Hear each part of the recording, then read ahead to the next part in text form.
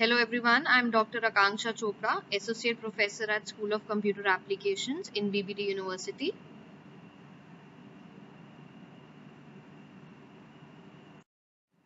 So today we will be discussing on data link layer part 2 that is about flow control, stop and wait protocol.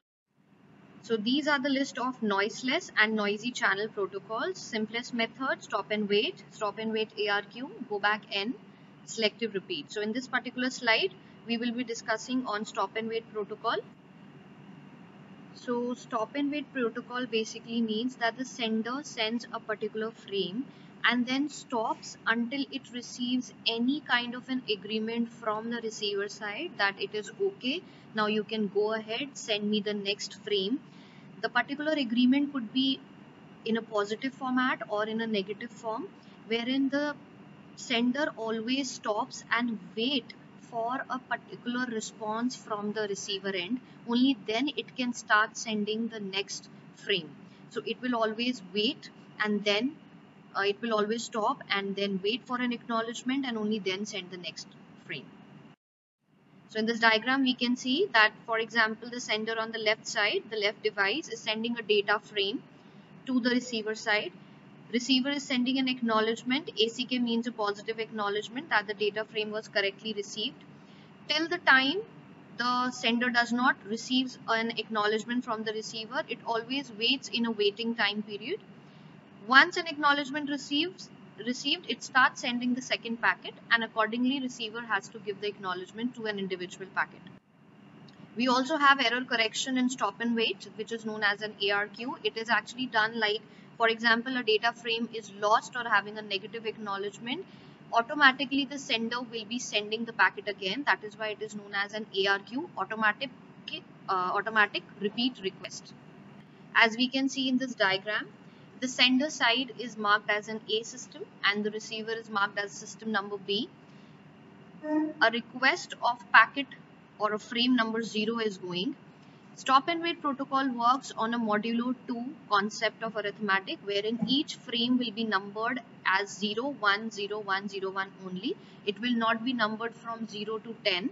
It will be numbered and be toggling between 0 and 1 only. So we can see that there are six different frames here with a number as 0, 01. So for example, the first frame is being sent. So the sender is sending the frame with the frame number as 0. It indicates the first frame. At the receiver side, receiver has marked 0 as received and then in the red color it is showing that we are expecting another frame from the sender side which is frame number 1. So when the receiver sends the acknowledgement towards the other end, it is sending an acknowledgement as ACK1 so this one indicates that packet or frame number 0 is correctly received. Now they are expecting frame number 1. At the second frame, when the frame 1 is being sent from the sender towards the receiver side, for example, the frame get lost in between the transmission. After some time, when the sender does not receives any acknowledgement from the receiver end, the timeout will be restarting and automatically the sender will get an indication that whether the packet was lost in between or might be that the frame does not reach its destination or an acknowledgement could be lost. So in that scenario, the sender will resend frame number one again from sender side to the receiver. This time frame number one is resent and the receiver receives it. Receiver will send an acknowledgement which is a positive acknowledgement. We can see that an ACK 0 frame is being sent which indicates frame number 1 is received and now it is expecting frame number 0 in the next transmission the sender sends frame number 0 for example this frame is correctly sent but by chance the acknowledgement as ACK1 gets lost in between the transmission from receiver to the sender side.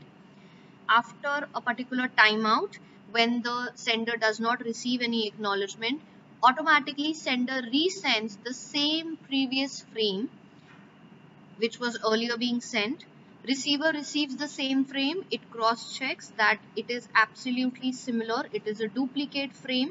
In that case it has received the same frame number with two different copies. So it will discard this and remove the duplicacy and send an ACK frame number 1 understanding that might be the acknowledgement was lost in the transmission. So this way, sender keeps on sending and waiting for individual transmission. This is the concept of stop and wait protocol. Thank you.